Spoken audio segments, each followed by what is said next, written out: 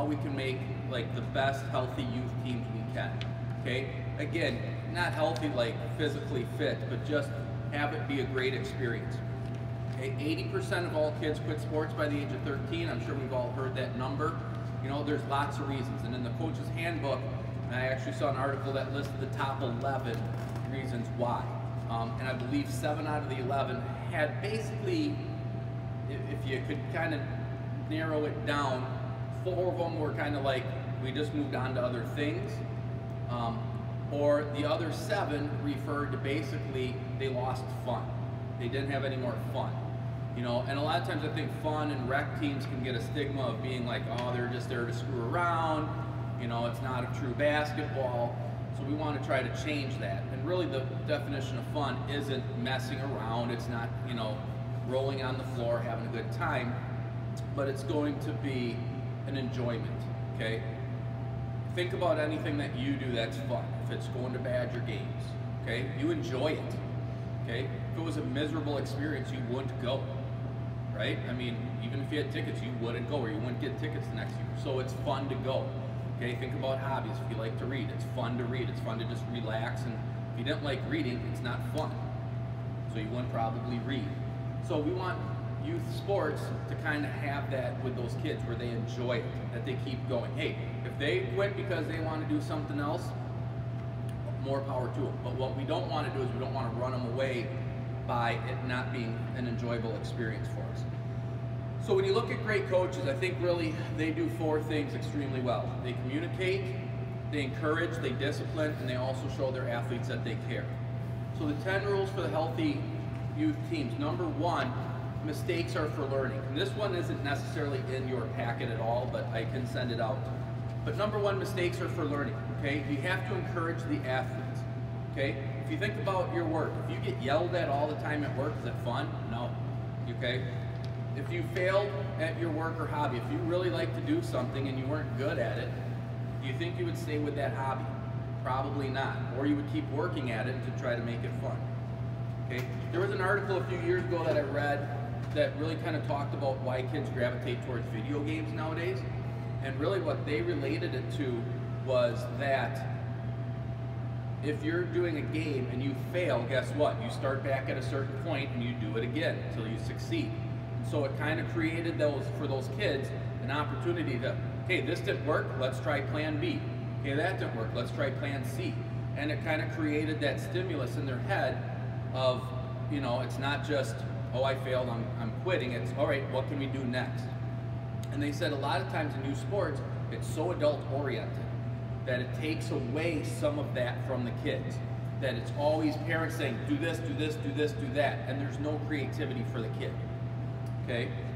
So again, while you're out there, keep in mind, they're gonna make mistakes, okay? You're a teacher as a coach, so make sure from one to 12 or one to eight on your team, you're working with all eight of those kids, okay? The stars to the very bottom. Number two, the second rule for the healthy youth team, smile and act like you enjoy it, okay? This is gonna show that you care and it's gonna be encouraging. Okay? If you think about youth sports, there's a very limited time that these kids are going to be able to play. Okay? If they're in third grade, you've got about nine, ten years to play organized sports. Okay? All the way to their high school. Now, the odds of them playing all the way to high school, I'm going to tell you, are very slim. Right now, at the high school level, we only have two seniors as boys. Okay? And I think there's maybe five girls that are seniors. Okay, a year ago there was, or a couple years ago there was one girl that was a senior.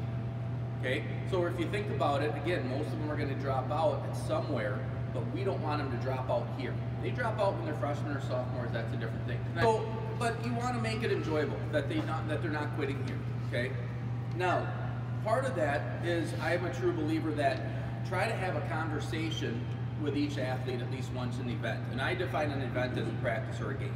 Okay, and it doesn't have to be long. It can just be like, how's it going? You know, what'd you do? You know, what are you gonna eat for dinner tonight? Just something like that. And you'll be shocked at how much those kids respond to just a simple conversation. If you have an assistant coach, if one of you can at least get to a kid every day, you will be shocked at how much more they will respond because there's just that personal interaction.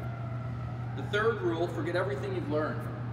from watching the pros coaches and the college coaches. Okay? This is going to be a discipline and a communication issue. Okay? I guarantee you if Vince Lombardi would be coaching today, he probably would be on the news and probably would be getting fired. Okay? Because that rah rah, run through the brick wall, screaming, yelling, swearing, that just doesn't really fly anymore. Okay? Um, I don't think it's anything new, honestly. I mean, what you're seeing today when, when you see issues with teams, I don't think it's like something that's brand new. I just think now players have more of a voice and they're not taking that type of abuse. Okay? So again, I think those type of coaches are slowly running out. There's no more Bobby Knights. You don't see much Bobby Knight antics anymore. Okay? The other difference is, you know, if you're a pro coach or a college coach, it's your livelihood. You know, if you don't win, you get fired. When you get fired, it affects your family, it affects your assistant coaches, it affects their families. So that is a lot of pressure. Okay? Now here, the great news is I could care less, win or loss. And anyone and any of the other community reps would feel the same way. Okay? We're not judging you on your wins and losses. We're gonna judge you on, hey, at the end of the year, how many kids want to come back up and play basketball? Okay, and so far we've been very good about it. One year I was coaching a team and we would I would play the kids almost evenly. And did that hurt us in the wins and losses? Probably. You know, we won one or two games at the end of the year. But at the end of the season, final game, can't remember if we won or lost, but almost every kid was crying because they didn't want the season to end. Well, I'll tell you what, that was a more enjoyable end of the year for me as a coach seeing that than it would have been if we had won seven of the eight games and three of the kids were like, or five of the kids were like, thank God that's over for whatever reason. So watching those kids be like, wow, it's, you know, crying literally because it's it's over, was actually somewhat like I felt pretty proud and happy. Number four, the fourth rule, uh, protect the player's emotional safety. We've kind of talked about this. This is going to show discipline and communication. Okay, we have a rule that says you, should, you need to play a minimum of one quarter. Okay, now I'm going to say after watching for the boys, there's a one or two players out there that probably should just be able to play the minimum because it might be too much to play more than that. But for a lot of the other kids, you know, they should get more than the quarter. The, the minimum is there is, is an absolute minimum. But I would ask you this, why wouldn't you try to play a kid three minutes every quarter or four minutes every quarter or half of every quarter if you could for the first three quarters. okay? When I've done this before, and I'll show you in a second, uh, yeah, we'll show, I'll show it to you in a second. I would actually line up a schedule that says, okay, here's my five starters and their positions. At this minute mark, here's who's going to go in. The second quarter, here's who starts. Here's who's going to sub in for them. And I would do that for the first three quarters. Unless if it's an injury that's what I'm sticking with. Part of that is to make sure that every kid gets in and gets a chance to play. And then in fourth quarter, I usually had the same five, or the, you know, a five that was going to start. And then if you'd see my sheet, it broke down into two. Is it a close game, or is it a blowout? And if it's a blowout, I'm moving some kids around, letting them play different positions. If it's a close game, the last five minutes, guess what? I've got my best five in there. Because now we're going to try to win the game. So you kind of plug along for the first three quarters, and then you kind of see where the game lies, and then you go from there. Um, again, it's not about winning. We just talked about it. Okay, you're not going to be judged on wins and losses. Okay. There is a Mighty Duck. Everyone knows the Mighty Duck movies, right? Okay. There was a quote in there from Hans, who was I think the old guy, the mentor to Gordon Bombay, Emilio Estevez's character, and the quote was, show them how to play, have fun, teach them to fly. That's what they'll remember. Nothing about winning the junior peewees or whatever they were in. It was basically show them how to play, and if they play right, it'll be fun, and then that's really what this is all about. the fifth rule, number five, set effort goals and not outcome goals, okay, for a communication factor. Now, they polled top athletes a few years ago, and what they realized, even when they were younger, they focused more on the process or the form than the outcome. Okay? And the one that is really, I think, easily to relate to is if you play baseball or softball. Okay? you can have kind of a weird swing because you got fooled and you looped one over the shortstop's head and it's a base hit. All right, hey, you got on base, but you know, God, that really wasn't a great at bat. I got fooled, I got lucky. the next at bat, you do everything exactly right and you line it right back up the middle to the pitcher and they make a fantastic play and you're out. So what's the better at bat? Okay, and they were saying that when you pulled these pulled these top athletes, their better at bat was the one that they made an out. They didn't get on base, but they knew that boy, I did everything right. The other person just made a better play. Okay, and they pulled top athletes again, and they said that's what they focused on. So in their mind, they were 0 for 1 on the bloop hit, but 1 for 1 on that line drive.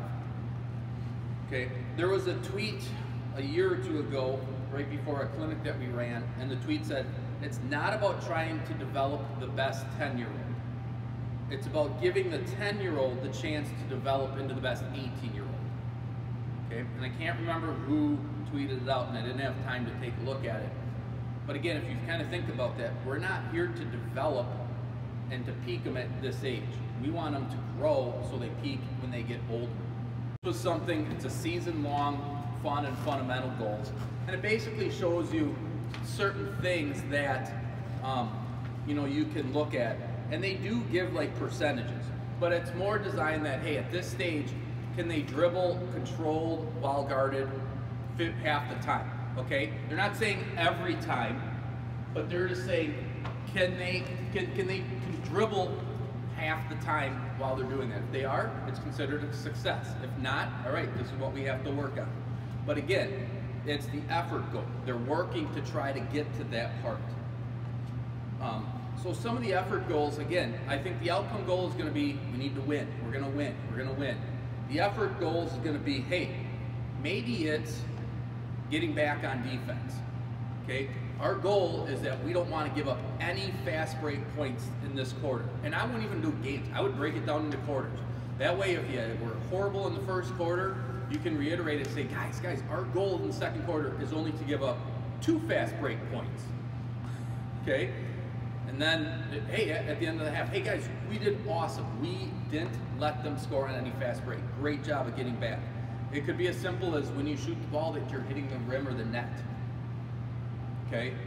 Again, we're not expecting these kids to be 50% shooters, although when we talk about shooting, you'll see hopefully they will be better. Okay? so keep working with the kids. Keep working with them. Keep drilling them. You're going to have that kid that's not quite getting it. And you're going to keep hounding them about certain things. Maybe it's for shooting and it's getting that follow through in the pitch. Okay? And they're not going to do it. They're not going to do it. And finally, they're going to do it once. And you're going to feel like a million bucks because they finally had that success. Now, great. You're to feel like a million bucks. Been there, done that. Just be ready for the next 99 times that they don't. Okay? So keep working on them, keep working, and then hopefully the second time they do it, it's only 80 times that you have to keep reminding them. And it keeps getting lower and lower.